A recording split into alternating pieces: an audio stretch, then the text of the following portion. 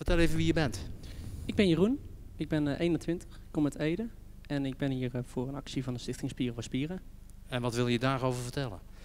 Eh, wat wij doen is eigenlijk een, eh, een actie organiseren, elk jaar. Eh, dat is in het voorjaar, dat is in mei. En eh, dat doen we eigenlijk eh, door een soort van glazen studio neer te zetten in Ede. Eh, dat is een, eh, een, een, een- ja, daar hebben we eigenlijk een, een radiostudio in, dus ook een televisiestudio. Dus het is een soort van Glazen mediaal huis. glazen huis, ja. En er zitten sportactiviteiten aan vast. Eh, het is eigenlijk, de Stichting Spiro Spieren is landelijk. Wij zijn wat meer plaatselijk. Wij proberen in Ede ook heel maatschappelijk zoveel mogelijk los te krijgen, eigenlijk bij, bij vooral studenten en scholieren.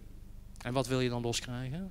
Nou, om, om, om ook wat te doen ehm, voor, een, voor, een, eh, voor, een, voor het goede doel, eigenlijk voor een actie dat, dat wat landelijk bekender is.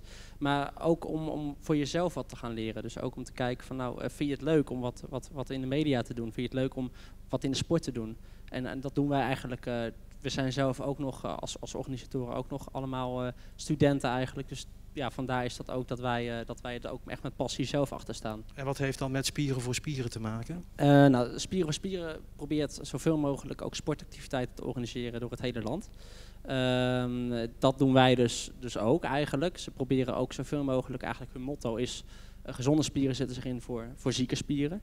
En dat proberen wij ook echt, echt naar voren te krijgen. En, en de passie is er ook. En dat betekent ook 100 uur dus. eh, ja, de meesten die aan ons meedoen, met acties van ons meedoen...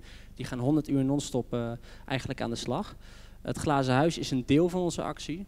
We hebben eigenlijk nog veel meer eromheen hangen. Dus we hebben ook nog allemaal maatschappelijke activiteiten in ja, het jaar rond eigenlijk.